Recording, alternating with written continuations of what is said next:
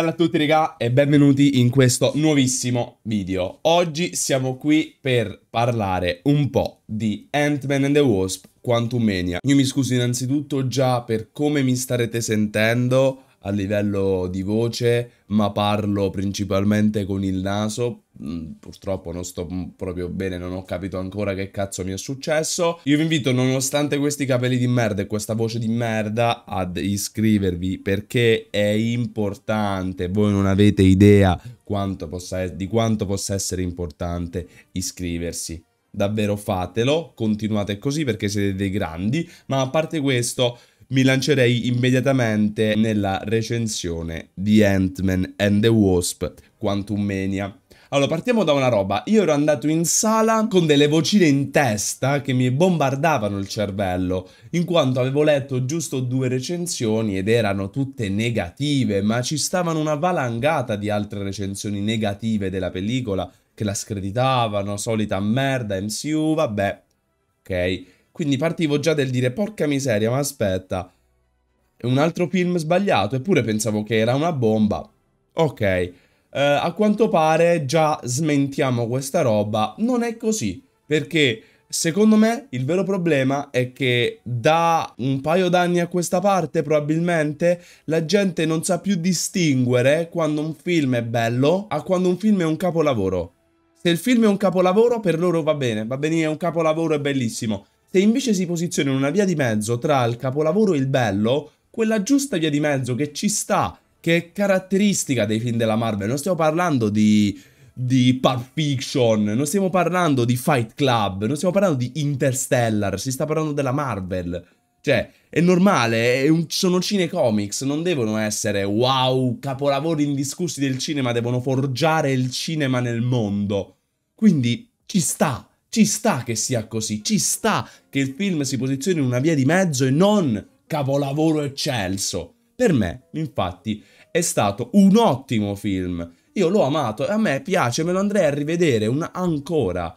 Infatti, il voto che gli do, parto subito dal voto, è 7. Per me è un film da 7. Non è un film da 8 per molte cose che diremo tra poco e non è un film da 10 perché pecca di tantissime cose. Ma adesso ci addentriamo di più nel dettaglio. Allora, io per motivi personali non voglio dividere il video in spoiler non spoiler, quindi probabilmente parlerò anche senza spoilerare, però non me ne frega un cazzo, cioè nel senso non, mm, parlerei in maniera limitata, voglio parlare come a persone che l'hanno già visto, voglio parlare a tutti, ok? Quindi se non avete visto il film, tranquillamente ve lo salvate il video nei, salva più, nei, nei guarda più tardi, oppure eh, lo lasciate lì, appena ritornate dalla visione del film, arrivate qui e vi sparate la recensione. Anche perché, ma che cazzo di senso c'ha vedere la recensione prima di andare a vedere il film?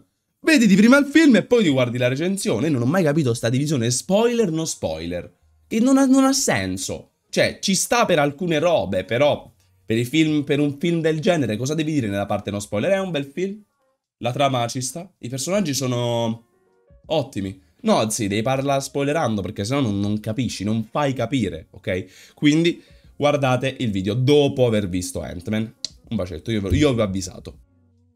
Allora, partiamo dal dire che mi aspettavo molto di più legame tra uh, Scott e Cassie. Infatti il film si apre praticamente mostrandoci uh, quella che è la vita di Scott e quella che è la vita di Hope, di come si è evoluta la loro vita, ma Cassie... Cassie totalmente, cioè la vediamo giusto un istante che lei va in prigione per una roba di cui non si sa nemmeno, però legami, legami che mancano all'inizio del film. Io avevo bisogno di capire il per, cioè che cosa fosse successo anche tra loro due. Ci sono un paio di battutine, ma non ti danno quella roba di dire cazzo, è, passato, è passato tanto tempo, chissà come stanno, i loro legami.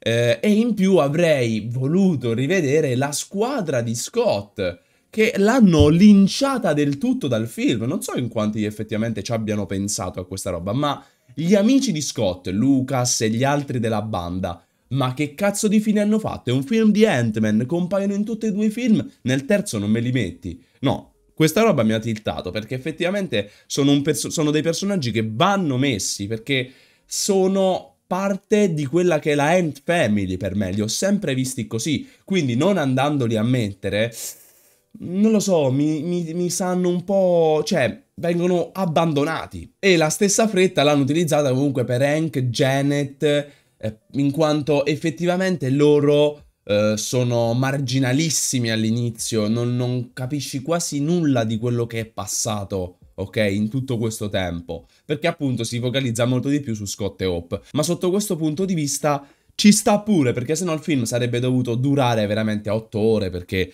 dopo, cioè, con tutto quello che accade dopo, diciamo che l'inizio, se non avessero appunto fatto in questa maniera, l'avrebbero eh, allungato troppo. Ma ecco, magari l'unica veramente nota che mi storce, mi fa storcere il naso sono appunto gli amici di, di Scott.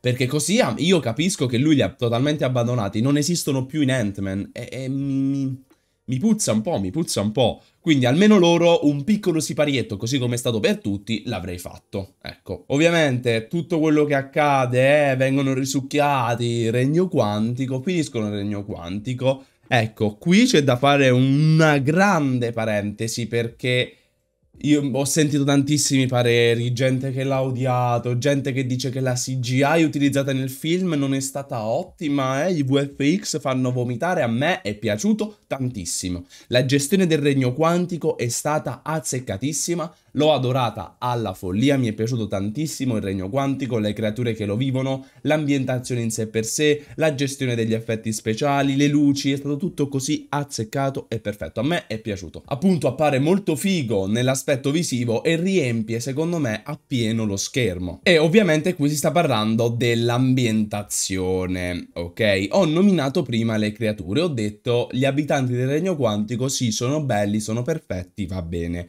Però tutti tranne alcuni. Allora, ora, ora, un attimo. Regno quantico.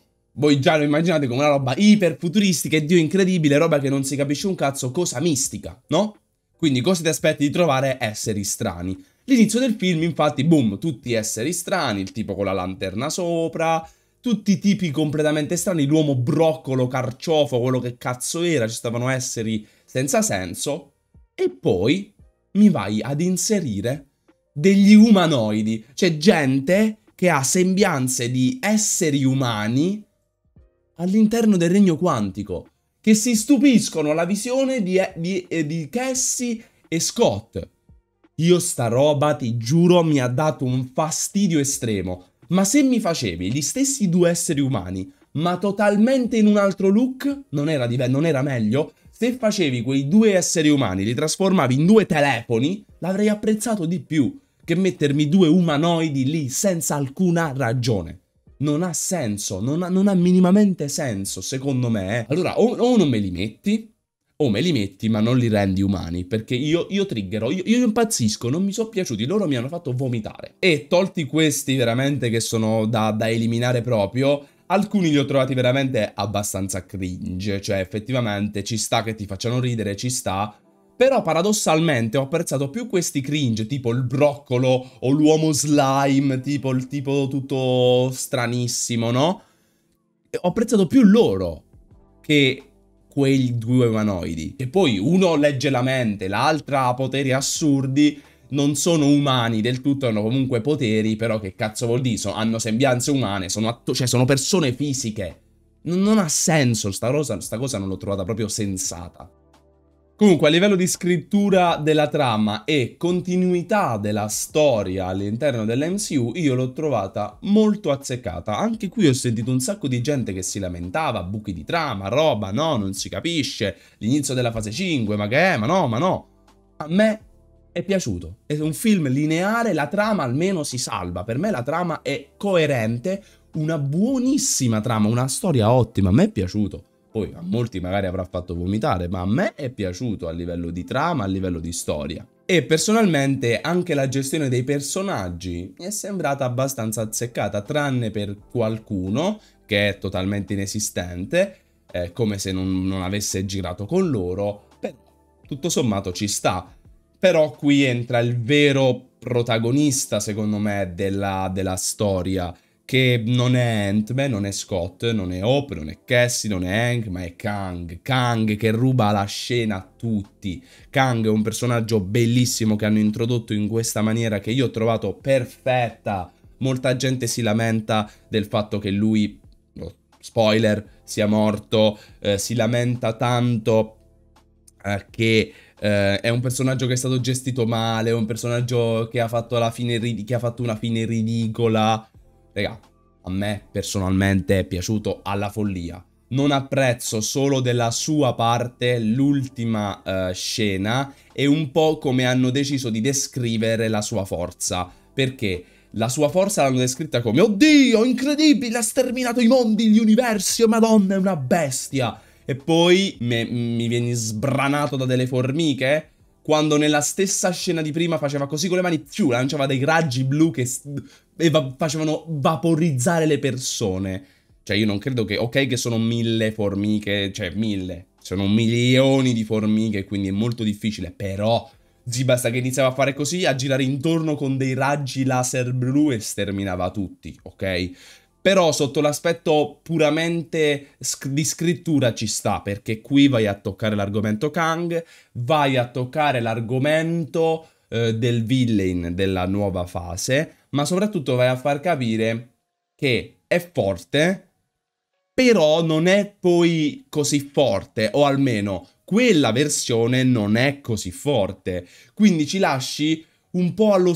tipo cioè, molta gente magari avrà detto, ma che cazzo, questo è Kang, è una merda, fa schifo, è, è, è scarsissimo. Per poi però redimersi in futuro, sicuramente, davanti a una versione di Kang che rompe i culi, che è mille volte più forte di quella che abbiamo già visto. Quindi ti lascia uno spunto per il futuro, perché magari Ant-Man stesso, Scott, andrà a riferire e dirà, wow, ho battuto Kang comunque, mo questo chi cazzo sarà? Lo battio come l'altro, però è mille volte più forte, ok?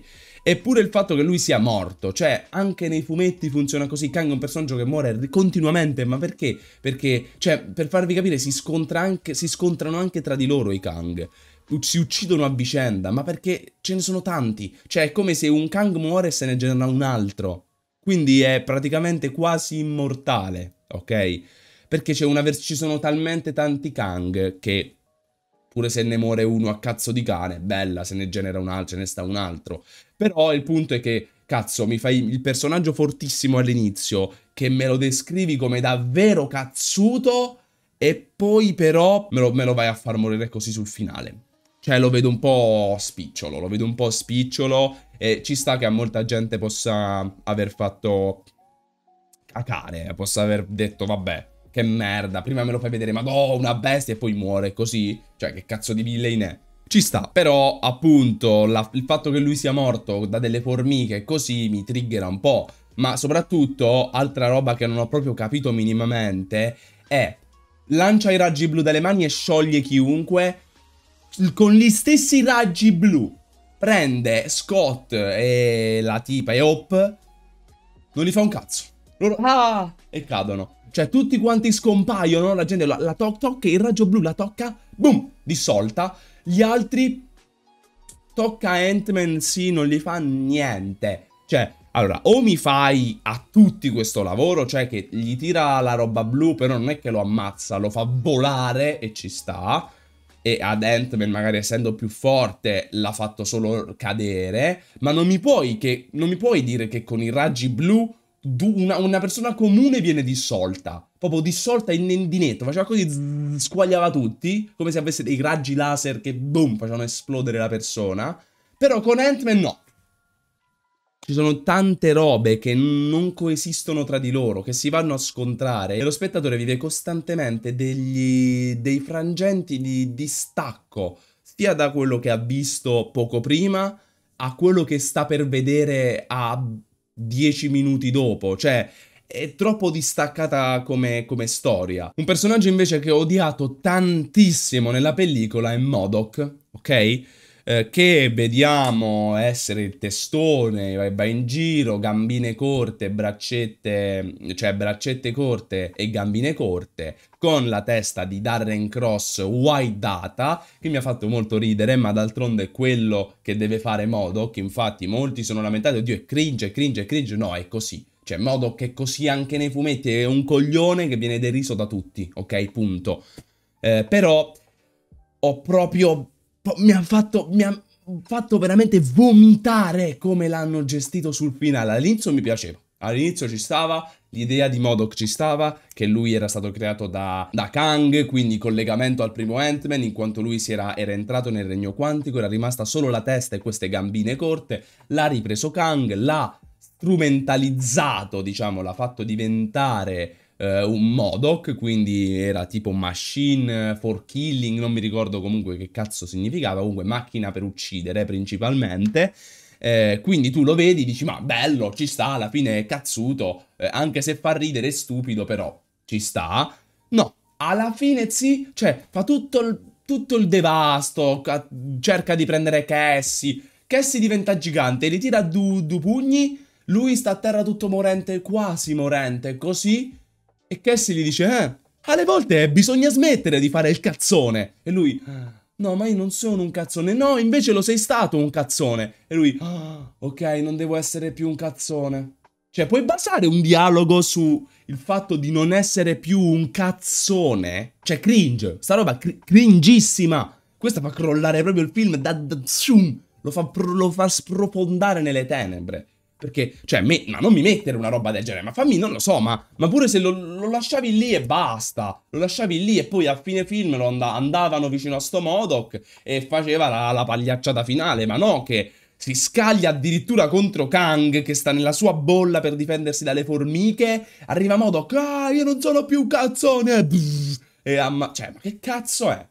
Che cazzo è? Io avrei gestito Modoc diversamente, magari avrei preferito più che la, sarebbe morto lì e bah, cioè finiva lì e basta, non che faceva tutta sta sceneggiata, sta pagliacciata finale.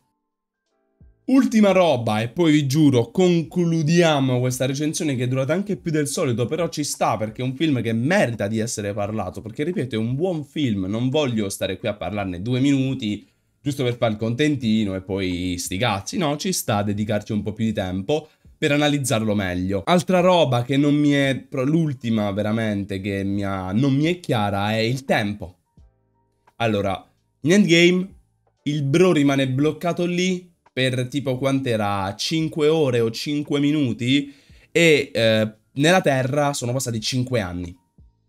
Qui mi state dicendo che lui non è rimasto bloccato per più di 5 ore. Secondo me è rimasto bloccato per un botto di tempo ma veramente un tot di tempo nel regno quantico.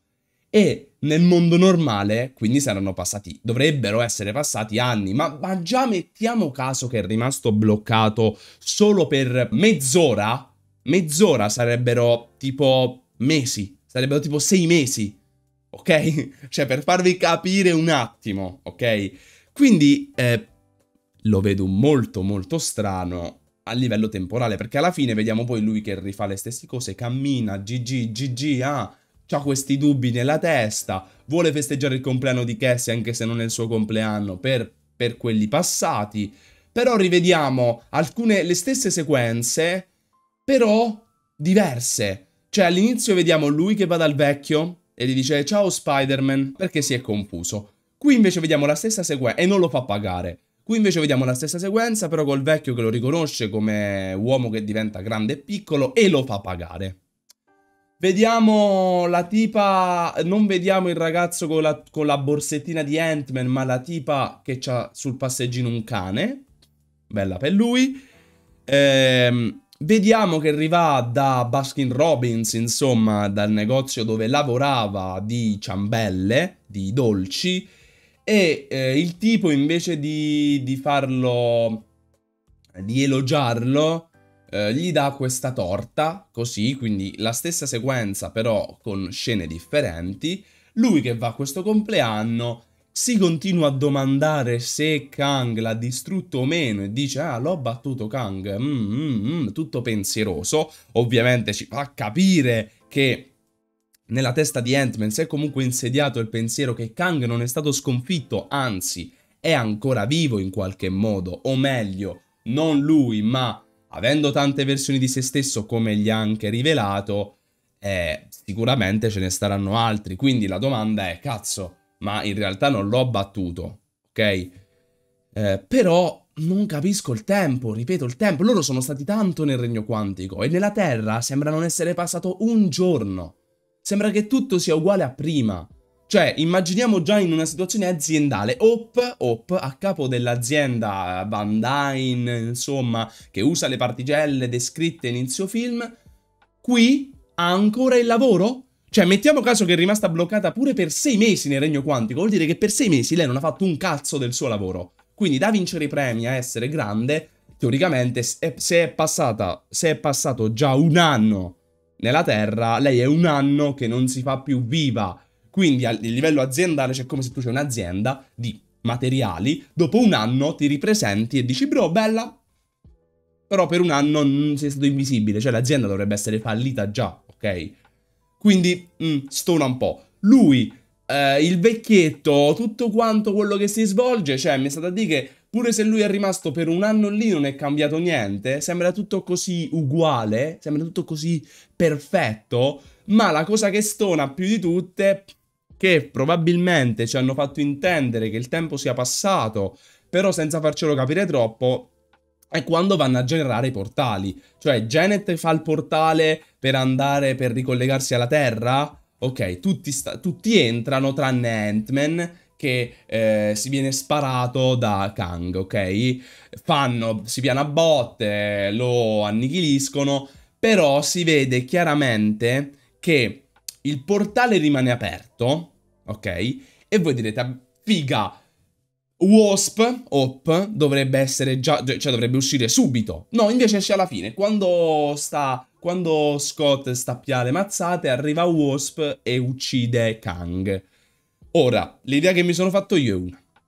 Probabilmente loro sono usciti e già in quei pochissimi frangenti di lotta, che già, pure se mettiamo che sono 10 minuti, sono comunque passati mesi, ok? eh, in quei piccoli frangenti in cui Scott e Kang hanno lottato e il portale è rimasto aperto, in realtà nella Terra sia Cassie che Hank che Janet che Hope hanno studiato un attimo. Perché la, forse l'idea che si sono fatti uscendo è Bro, ma aspetta, ma non è che se adesso rientriamo rimaniamo bloccati un'altra volta? aspettiamo, studiamo questo portale e infatti secondo me quello che hanno fatto è stato studiare il portale in modo tale da permettere poi a Wasp di rientrare, però non avrebbe nemmeno senso, perché? Perché dopo cosa succede? Che Wasp rientra e il portale si chiude, quindi che cazzo di studi hanno fatto? Vabbè, battono Kang, ma la cosa che noi, che, che, che non capisco è ehm, la scena in cui si vede appunto il portale che si riapre, ok? e Cassie che appunto fa tutti i suoi magheggi al computer e mh, mm, cerca di ricordinare, insomma, eh, le, trovare appunto, localizzare Ant-Man e Wasp nel regno quantico, ma la vediamo già in una fase avanzata del progetto, cioè, mi spiego meglio, la vediamo già con il coso da dove si genera il portale, fatto, cioè sistemato, quando nella scena di prima l'abbiamo visto per terra, praticamente, il portale che si genera per terra, perché appunto quella stanza è rimasta vuota, tutto era stato risucchiato, ok? Mentre qui no, qui vediamo anzi tutti i computer, tutta la roba, tutta la, la strumentalizzazione risistemata. Quindi questo mi testimonia il fatto che probabilmente Cassie abbia riaperto il portale per Ant-Man e per ehm, Scott e Hope in un altro momento. Noi, per noi sono passati boh 5 minuti, per loro sono passati in realtà tanto, per loro è passato tanto tempo hanno, in cui hanno avuto modo di ricostruire quello studio e far ritornare Ant-Man. Quindi se così fosse, vuol dire che nella Terra, in tutto il loro frangente di tempo che sono stati lì, è passato un botto di tempo, dovrebbe essere passato veramente un botto di tempo. Però sta concetto del tempo non ce lo vogliono far capire. Mo', Vediamo un po' come se lavorano a gestire con i prossimi film. Eh, spie- spero che il tempo ce lo facciano capire effettivamente meglio. che riescano a, a, a far a unire questa, questa roba, perché se no così è un buco di trama enorme. Cioè, se mi dicono Wow, bro, è passato solo. Sono passati solo 10 minuti. È un buco di trama veramente enorme. E eh, come non citare, però, adesso mi sto ricordando proprio ultimissimo, proprio piccola chicchetta, le post credit. Le post credit che sono eh, belle, devo dire che hanno rialzato il mio voto sul finale perché sono fighe, cioè non c'è un cazzo da fare, gasano abbastanza, è quello che devono fare le post credit, quindi riescono nel loro intento, nella quale vediamo nel primo il concilio dei Kang, diretto dai Mortus al centro, Ramatut a sinistra, è un tipo di Kang che non si capisce chi cazzo sia, non so minimamente chi possa essere quel Kang, secondo me l'avranno inventato di pari pari, eh, e eh, loro che parlano appunto del Kang, eh, del conquistatore che è morto e eh, che appunto gli Avengers sono un problema, effettivamente stanno diventando un problema sia per quanto riguarda la loro razza, per i Kang, sia per quanto riguarda il multiverso, perché stanno creando continue incursioni.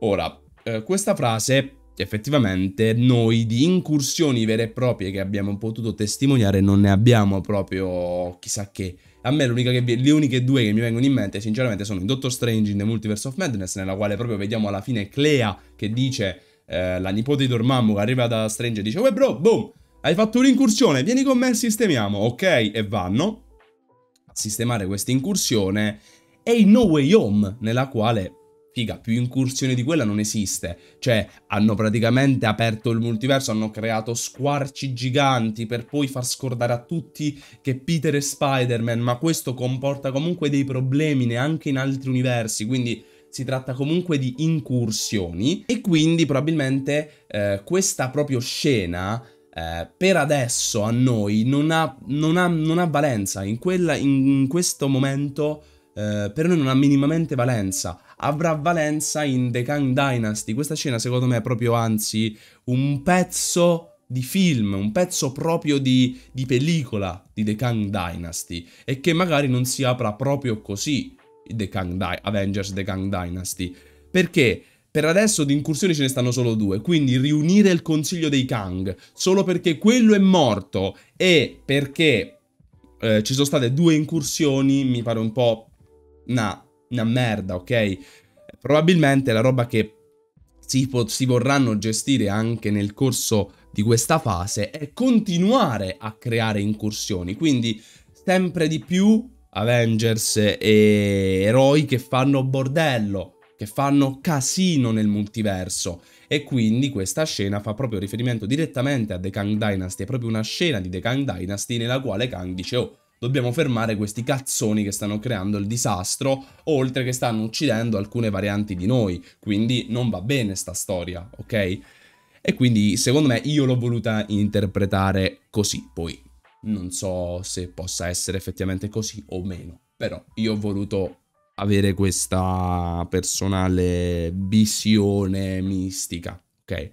L'altra, invece post credit fa riferimento a Loki, stagione 2, che pure è stata molto figa come post credit perché vediamo sta variante di, di Kang da sempre in un altro universo a questo punto, in un altro momento, che è questa variante che si chiama, mo non mi ricordo esattamente come si chiama, comunque questa variante storica di Kang che parla al corteo eh, della sua storia, un po' dei multiversi del tempo e eh, vediamo Mobius e Loki appunto discutere eh, e dire Mobius che dice a Loki bro ma non era più cattivo? Non era più, oddio, incredibile, potente, me lo immaginavo più cattivo e Loki dice no bro, è molto, eh sì, effettivamente è cattivo.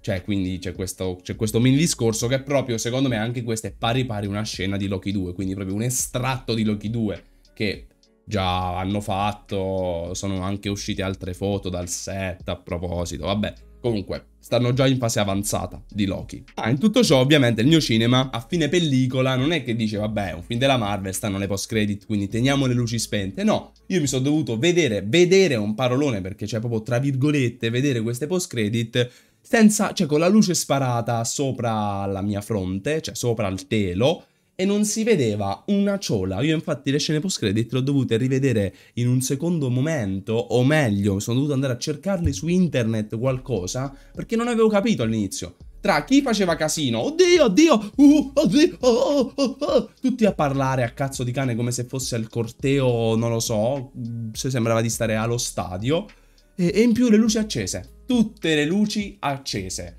Che bello, vedersi delle post credit. Io Loki non l'avevo visto cioè, al, alla fine, cioè, l'ultima post io ricordo solo che vedo per un istante Kang. Però, a, avendo la scena delle luci calde, le luci del cinema stavano proiettate sullo schermo. Io non vedevo una ciola, zero, zero. La seconda post non l'ho vista.